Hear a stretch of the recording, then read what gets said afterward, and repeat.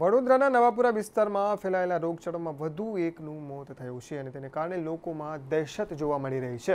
રોગચાળાને કારણે હાલમાં કુલ મળીને ત્રણ વ્યક્તિઓના મોત થયા છે. આ પહેલાં એક બાળકી અને એક વૃદ્ધનું મોત થયું હતું. તો રોગચાળો વકરતા મેયર અને ધારાસભ્યએ નવાપુરા વિસ્તારની મુલાકાત લીધી હતી. જોકે મુલાકાત દરમિયાન મેયર અને ધારાસભ્યએ લોકોના રોષનું ભોગ બનવું પડ્યું હતું. મેયરે લોકોને નળનું પાણી ન પીવા માટે અપીલ કરી અને ટેન્કર દ્વારા જે પાણી પહોંચાડવામાં આવે છે તે પાણી પીવા સૂચન કર્યું હતું.